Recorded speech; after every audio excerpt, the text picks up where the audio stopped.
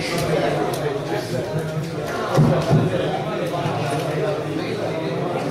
va bene. Buongiorno a tutti, siamo onorati di stare qui anche se ci hanno obbligato. Eh, adesso oggi vorrei vedere un semplice Linux. eh, basta. Ok,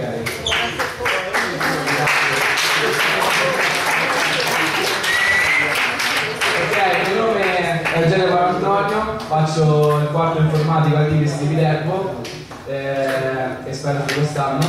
Eh, sono Adio, adoro la musica rock, la birra e l'aviazione. Se volete insultarmi sto su Twitter Eugenio underscore G7 oppure la mail è me.medesimo.eu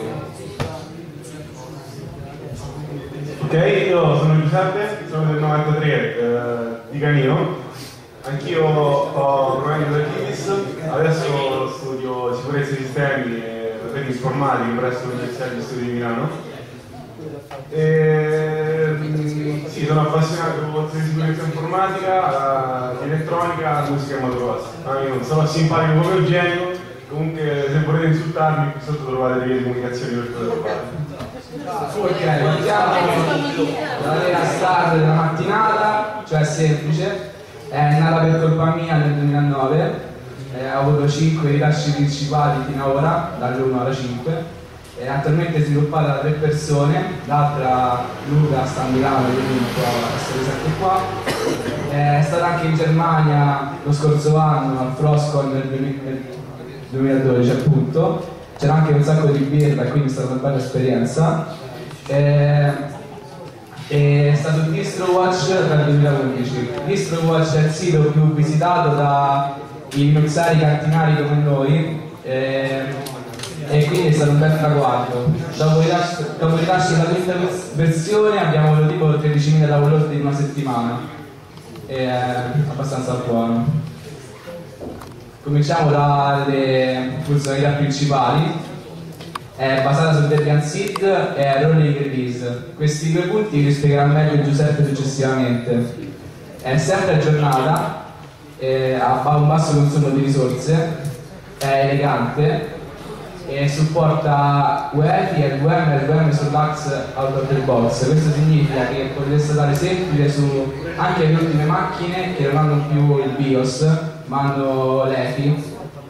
E anche su partizioni criptate, quindi volendo potete mettere roba sconcia lì sopra se qualcuno per, per rendere hard disk e beh ci sta dentro. Al contrario del trend iniziato da varie distribuzioni come Ubuntu, così che crescono sempre di peso e entrano solamente in un DVD, semplice entra in un CD, quindi può essere anche eseguita su macchine più vecchie non dotate di lettore DVD. Il codice sorgente è su GitHub, eh, il link è qua.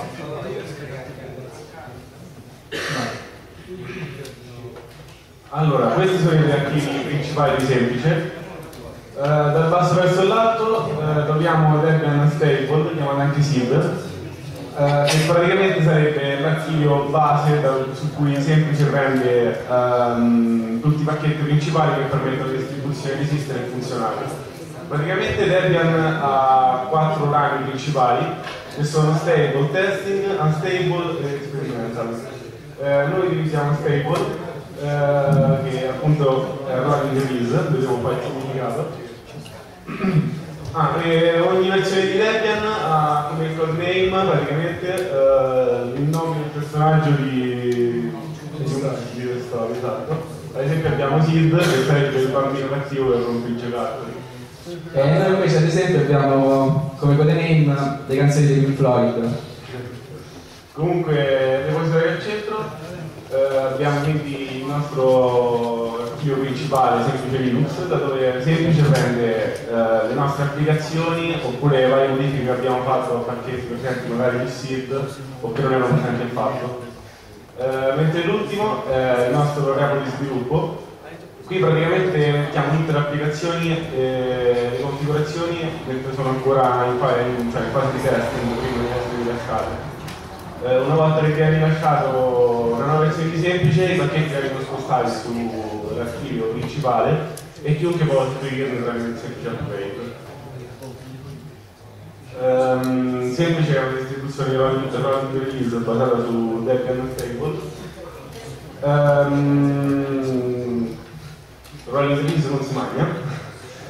Praticamente le distribuzioni rolling release sarebbero distribuzioni a differenza di Ubuntu eh, a rilascio continuo. Non, non c'è praticamente una versione fissa, ma possiamo installare delle snapshot che vanno a seconda del data del rilascio della snapshot. E, tra vantaggi e svantaggi di queste distribuzioni abbiamo senza dubbio che possiamo installare una snapshot molto vecchia e fare un semplice aggiornamento passare all'ultima versione, quindi ad esempio mettiamo semplice 4 con un aggiornamento possiamo stare alla 5.1. E, ok, di conseguenza il sistema è sempre aggiornato. Questo comporta che gli aggiornamenti comunque sono un po' meno dettagli quanto potrebbero essere con una stable e cioè, da un aggiornamento all'altro potrebbe cambiare tutto il sistema. Proprio per questi motivi non sono distribuzioni adatte a workstation e server, dove praticamente il sistema deve essere stabile e funzionante al 100%.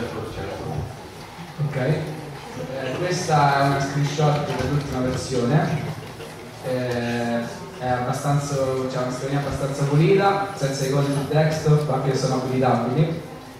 Eh, c'è un pannello in basso eh, molto minimale con eh, un, eh, un orologio, una tray e eventuali applicazioni aperte e al menu si accede con il pulsante destro del mouse, quindi in qualsiasi parte del desktop, premendo col destro appare il menu. Ok. Poi ovviamente oltre distribuzione in sé abbiamo sviluppato alcuni programmi, eh, ad esempio questo è l'Installer, è il programma di installazione appunto, eh, che ho scritto io tipo in due anni. Eh, è abbastanza intuitivo da come, dice, come dice la gente a cui non abbiamo pagato. Ha la barra principale sopra che cambia colore in base al, al, a come l'utente ha dato l'input, quindi se c'è qualche errore esce fuori rossa, se è possibile continuare il verde come in questo caso e è modulare e ci daranno anche altre distribuzioni che lo useranno a parte noi. Poi questo è Alan, cioè il menu principale dinamico che appare con il tasto destro e viene girato sempre al volo, quindi se si installa un'applicazione eh, essa viene direttamente su, sul menu, mentre altre distribuzioni simili chiedono l'intervento dell'utente per mettere l'applicazione nel menu appunto. Questo è Park, eh, il nostro configuratore, il nostro tool di configurazione per gli effetti grafici. Um, praticamente questo, questa applicazione consente di poter modificare e gli effetti grafici sulla distribuzione tramite pochissimi clic, senza dover andare a modificare il file di configurazione manualmente. Comunque sia il file di configurazione rimane modificabile sei smanettone. Esatto. Mentre questo è OneTip, eh, il nostro application view, web application viewer, eh, novità dell'ultima televisor. E, mm, praticamente lo scopo di OneTip è quello di poter eseguire applicazioni scritte in linguaggi web tipo possono essere come HTML5, JavaScript eh, di essere visualizzate praticamente proprio come applicazioni native e quindi installate nel sistema. Abbiamo qui ad esempio il mitico service preso da html5service.com e mm, in alto a destra ovviamente potete vedere il dialog che si utilizza per poter inserire manualmente applicazioni web. Ok, quest'altro invece è Bricks, che il nome viene da, da Another Brick in the Wall eh, è il gestore delle funzionalità di semplice, cioè eh, noi con eh, l'immagine standard abbiamo diverse funzionalità che non è detto servono a tutti, ad esempio il supporto Bluetooth sul PC desktop non ha, non ha quasi senso, a parte che chi ha ovviamente i vari adattatori. Quindi è possibile disapplicare eh, le varie funzionalità in un clic sia in fase di installazione che fuori. Abbiamo anche altri progetti più piccoli che sono tutti disponibili su GitHub, cioè github.com slash semplice, c'è tutto il codice soggetto eccetera. Project Grid È praticamente un progetto fresco fresco dagli ultimi mesi. Ehm, utilizziamo questo progetto, questo, cioè, è praticamente disponibile su GitHub e sul code è quello che tiene traccia di eventuali miglioramenti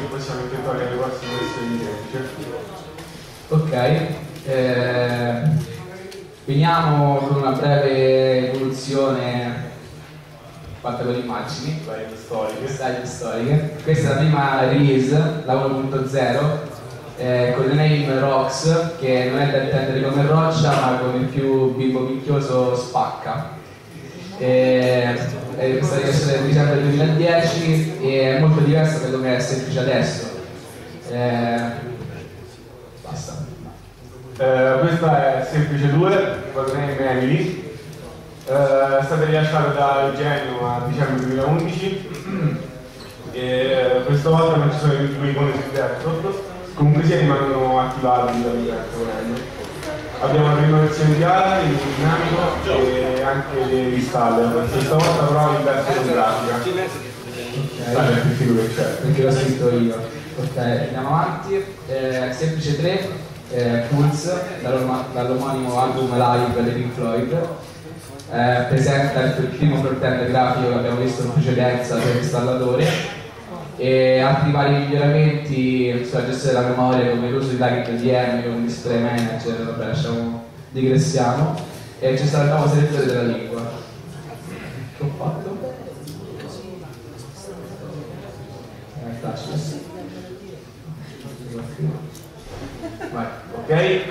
questa è Armored Mother, non l'album ma la parte di semplice, che comunque il nome è scritto dall'album. È stata rilasciata del 2013, qui inizia ad esserci un piccolo zampino. Eh, comunque come, noi, eh, come novità abbiamo un nuovo mixer, eh, effetti grafici con il tool di configurazione che abbiamo visto prima e il gestore delle funzionalità. Mixer. Ok, questa è l'ultima, speriamo solo per ora. iGops, rilascerà a settembre durante un devastante party nella sua taverna. Eh, ha le funzionalità personalizzabili, eh, supporta le applicazioni web e come ho detto prima anche supporto ETI, LVM e LVM sull'Ax. Intanto il pannello è stato disegnato. Detto ciò, mh, se avete domande da fare, insulti, eccetera, siamo qua.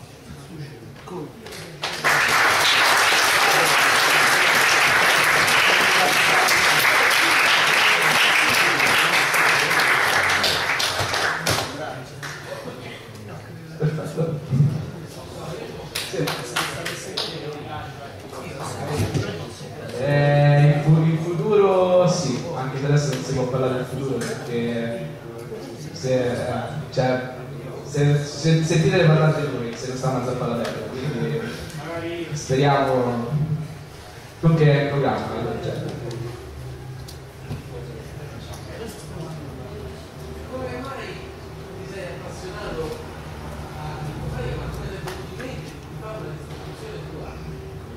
Eh, perché non c'ho niente da fare. Eh, no, seriamente. Eh, da piccolo mi piacevano i sistemi operativi, queste cose qua, no? E ho cominciato a smanettare con varie distribuzioni, con vari programmi per fare il remix di Ubuntu, no? Anche se i risultati erano veramente pessimi, allora ho detto mi sono messo le punta e ho cominciato a fare qualcosa di più serio, diciamo. E da qui anche per il fatto che Debian Seed non ha una. non si può installare direttamente, cioè bisogna installare prima la stable, lo testing e poi fare l'upgrade. Mentre con semplice è possibile installare una seed in un quarto d'ora diciamo perché è già preimpostata. Senti, qual è stata la più grande soddisfazione barra sorpresa? Qualcosa che non ti aspettavi che invece... Eh, fine 2011 un'azienda tedesca ci contatta e, e ci propone di andare in Germania l'estate scorsa. Pagato viaggio, hotel, eccetera. E a presentarla là. È stato bello. Quindi è stato del tempo che stai pagando. Sì, diciamo di sì. Sì. Yes. Ok.